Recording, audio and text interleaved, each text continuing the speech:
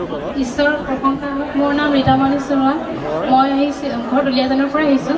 মই আহিছিলোঁ আপোনাৰ বিছ চনৰ আপোনাৰ সাতাইছ ডিচেম্বৰত আহিছিলোঁ প্ৰথম।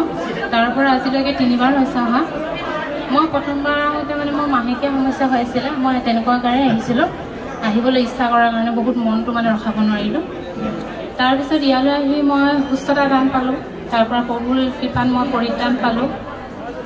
তাৰ উপৰিও মই এনেই ফুৰিব যাওঁতে এবাৰ মানে মোৰ গাটো ফুৰিব যোৱা ঠাইতে মানে বেয়া হৈ গ'ল। তাৰপিছতে ঈশ্বৰক প্ৰাৰ্থনা কৰিলোঁ ভাল কৰি দিবলৈ। তেওঁ মানে খুব বেছি দহ পোন্ধৰ মিনিট পিছতে মোৰ গাটো সুস্থ হৈ মানে ধুনীয়াকৈ ফুৰি মেলি আহিছোঁ মানে।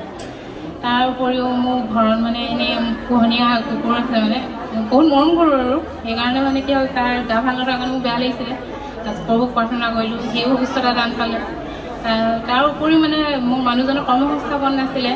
মানে ট্ৰেইনিঙত গৈ আছিলে কিন্তু তাৰ কৰ্মটো মানে তেনেকুৱা তাক দিয়া নাছিলে মানে তেওঁ হোৱাগৈ নাছিলে ট্ৰেইনিঙহে হৈ আছিলে পঠোৱা নাছিলে ট্ৰিপলৈ তাৰপিছতে প্ৰভুৰ নামত মানে মই ব্ৰত দিছিলোঁ দিনে তাৰপিছত দিয়া তাৰ দুদিনমানৰ পাছতে মানে তেখেতক আকৌ ডিউটি মানে জইনৰ হেৰি হ'ল।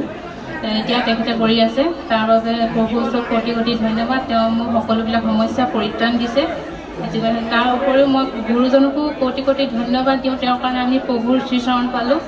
এয়ে মোৰ সাক্ষ্য আছিলে আজি। ধন্যবাদ।